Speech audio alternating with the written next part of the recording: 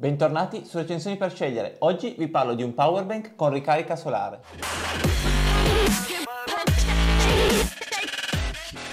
Andiamo quindi ad aprire la confezione e vediamo cosa è presente all'interno e il funzionamento di questo power bank. Mentre vado ad aprire la scatola vi chiedo di mettere un mi piace sotto questo video per aiutarmi a crescere col canale e portare sempre nuovi contenuti e nuovi prodotti. Iscrivetevi se non siete ancora iscritti per non perdere tutte le prossime recensioni dei prodotti che andremo a portare. Ma adesso andiamo a vedere insieme il eh, contenuto della confezione questo power bank a ricarica solare. Come vediamo si tratta di un eh, power bank da 10.000 mAh con eh, dimensioni abbastanza compatte per quanto riguarda la batteria, mentre invece rimane un po' più spessa la dotazione con i eh, pannelli solari. La struttura è unica, presenta una pratica cover nella parte superiore e eh, posteriore del eh, nostro power bank con una eh, piacevole finitura con grana leggermente più eh, spessa, la eh, scritta del marchio Is Dragon nella parte bassa e un comodo bottone con fettuccina che ci permette di andare a bloccare la parte dei pannelli dalla batteria stessa. È possibile andare a separare la batteria direttamente dalla eh, cover con i pannelli solari. In questo modo quindi potremo anche usufruire del eh, nostro power bank che come vediamo è eh, molto molto sottile senza eh, l'uso della, della, cover e dei pannelli solari. Se eh, non abbiamo bisogno magari di eh, ricarica solare o della cover possiamo utilizzare la nostra batteria in modo a sé stante. Se invece vogliamo portarci dietro anche la possibilità di una ricarica aggiuntiva con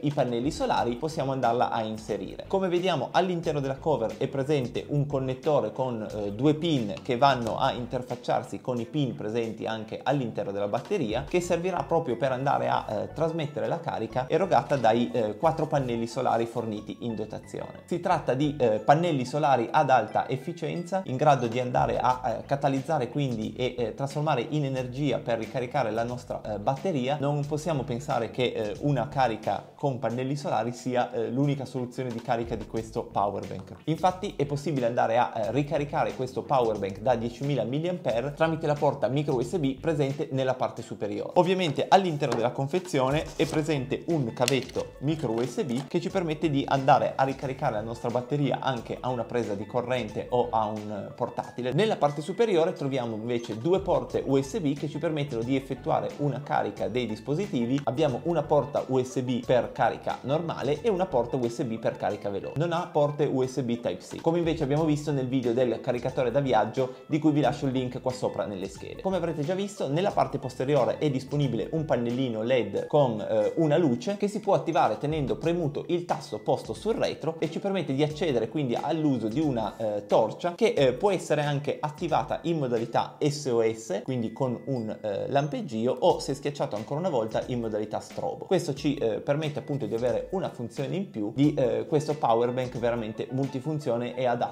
soprattutto da eh, portare magari in viaggio se andate in campeggio piuttosto che eh, in camper. Vado adesso a eh, riporre il dispositivo in carica e vi faccio vedere come anche se abbiamo un eh, faretto a led riusciamo a eh, mostrare il dispositivo in carica tramite proprio i eh, pannelli solari. Come vediamo quindi andando a mettere alla luce i pannelli solari il dispositivo entrerà automaticamente in carica se invece andiamo a chiudere i nostri pannelli la batteria non sarà più in carica. Nella composizione con con eh, custodia e pannelli solari avremo un peso di 395 grammi che si andranno a alleggerire di molto invece utilizzando solamente il power bank. Le dimensioni per eh, questo power bank con ricarica solare sono abbastanza contenute, abbiamo 155 cm nel eh, lato lungo, 80 cm per quanto riguarda il lato corto e un 30 cm di spessore. Come consiglia anche il produttore è eh, necessario mettere i pannelli solari direttamente alla luce del sole sole diretta e non attraverso un finestrino o ad esempio sul cruscotto dell'auto e eh, come detto serviranno circa 20 ore di eh, ricarica di esposizione al sole per effettuare una ricarica completa della batteria. L'uso quindi dei pannelli solari per un eh, power bank serve quindi per una ricarica di eh, emergenza del eh, nostro dispositivo che eh, invece abitualmente andremo a caricare attaccato alla corrente. Come al solito vi lascio in descrizione il link per l'acquisto di questo power bank con